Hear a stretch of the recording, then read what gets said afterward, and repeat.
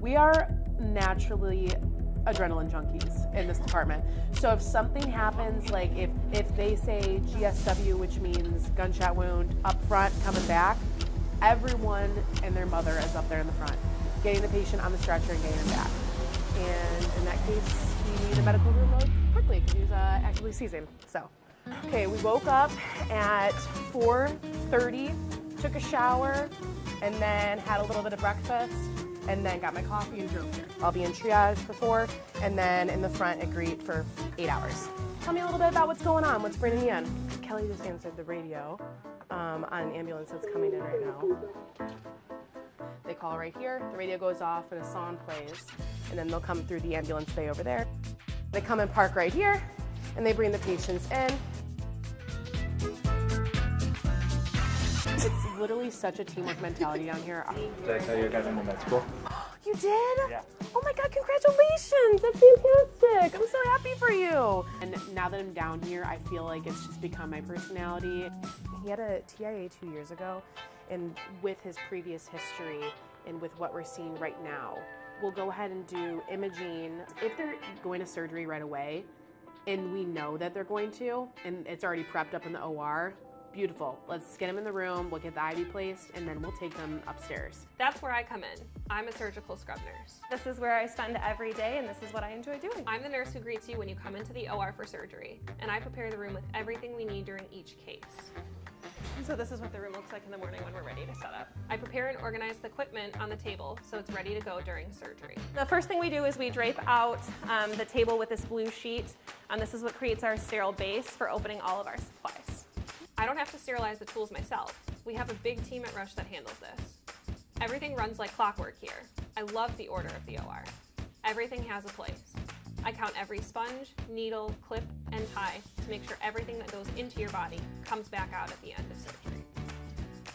If you love precision and are a little type A, this is the job for you.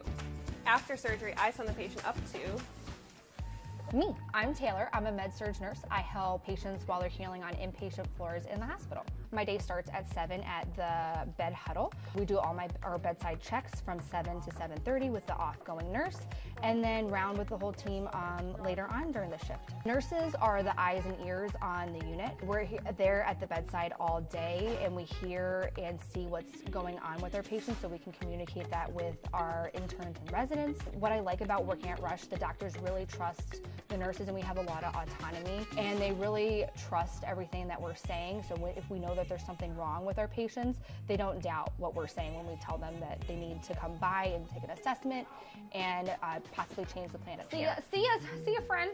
See you back in the ER. The purple top, the dark blue, and then since he's ordering the type of, I'm gonna help you when we go in there. During my day, I see a lot of sick people. Some days I'm helping out with wound care. Otherwise, I'm helping out with peritoneal dialysis with other nurses in the hospital.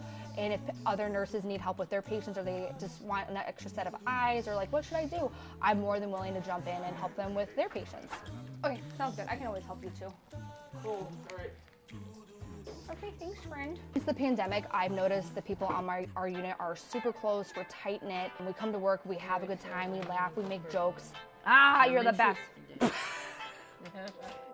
and help one another out when we're having a really crummy day. It's just we just need to get through it. Our patients are sick; they're not in the best moods, and so we just need that camaraderie just to be together and help one another out to get through that 12-hour shift. You just rub that belly, give it good vibes. No, you look adorable. Adorable. That little baby bump is too cute. almost there. I've been here for almost eight years, and like I said, don't plan on leaving anytime soon. Do plan on heading home soon. My shift is 12 hours, so around 6:30 I'll go around, make sure all my patients have their dinner trays. When we do bed huddle, our bedside report from 7 to 7:30, I'll go in with the oncoming nurse. Uh, I then do an introduction and make sure their needs and concerns are all set for the oncoming nurse. It's really about who all you work with. Am I right? Right.